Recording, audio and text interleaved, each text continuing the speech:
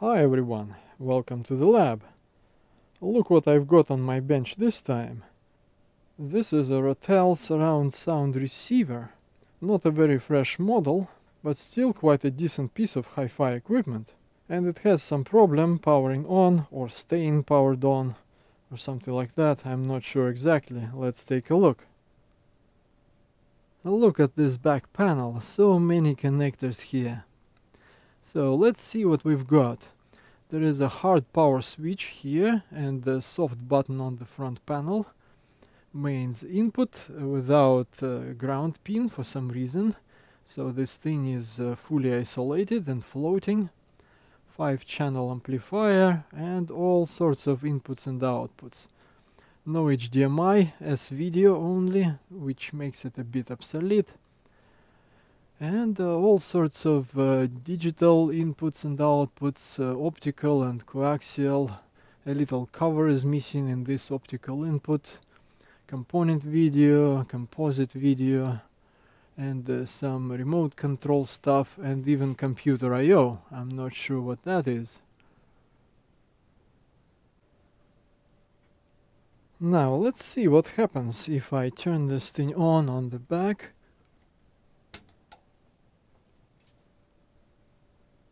Alright, this uh, light is on. Let's try so it powers up.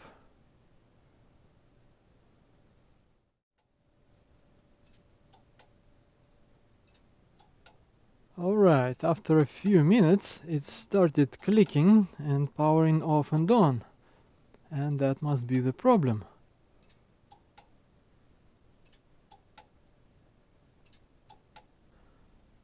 Let's take a look inside of this thing. Apparently there is a linear mode power supply here with this massive transformer, these filter caps for high voltage power rails, this must be a bridge rectifier, some linear regulators here for lower voltage power rails, a couple of relays, uh, this must be a radio receiver, this little board is uh, for some inputs here, uh, four uh, large boards here with some more inputs and outputs and I would think with some digital uh, converters and decoders and such. This board is uh, for uh, power amplifier outputs. That board under it is uh, with mains input and some filtering before this transformer. And this board is a 5 channel power amplifier with a lot of power transistors mounted on this uh, massive heatsink. And there is one more board on the front panel and not visible, it is behind this metal plate. So I would think we need to focus on this power supply board. I suspect electrolytic capacitors, but you never know, the problem might be with something else and it is not accessible from the bottom so I think we need to remove this board and check the capacitors first. Here is a closer look at this power supply board and look at this uh, dark glue or compound whatever it is. I believe it is supposed to give these capacitors better mechanical support and it is cracking all over the place like here for example and also around this capacitor. And I think I see some corrosion here as well. And also I believe here is a diode covered with this stuff. And the diode does not look healthy to me. Here is a closer look and I don't like this at all. I believe we should flip this board and test the diode. And here it is, there's a symbol on the board, and look at this. Nothing. There's another diode here, and here it is, no problem. But this one is not there. The diode seems to be cracked in half and there is some corrosion on the board.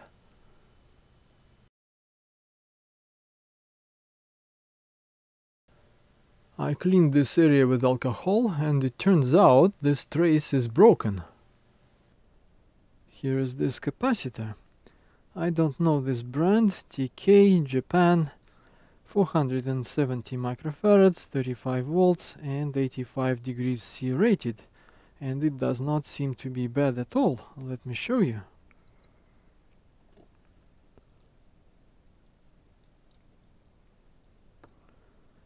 There you go, 365 microfarads and that is at 1 kilohertz.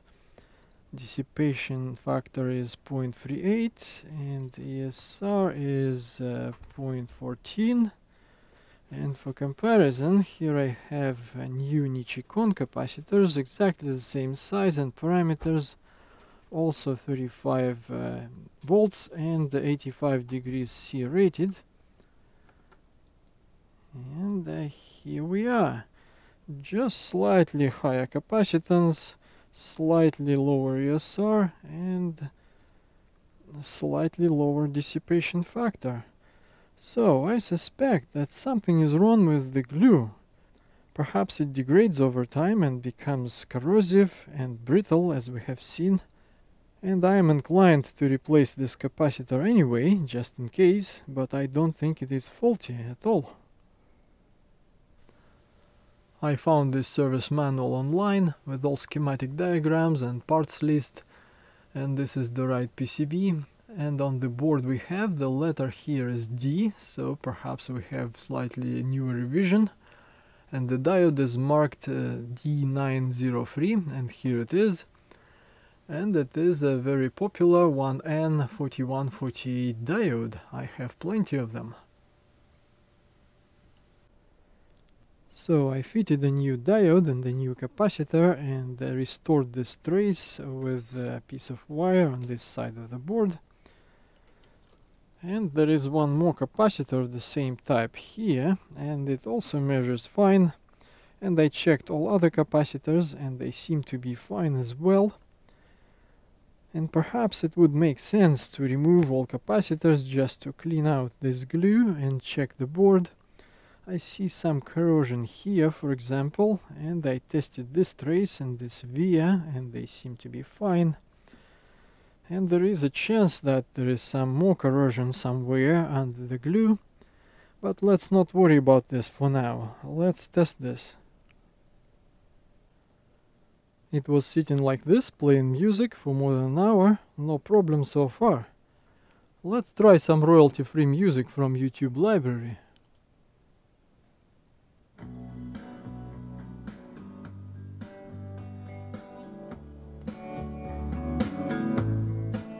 It takes many turns to change the volume here, but there is a quick mute button if needed.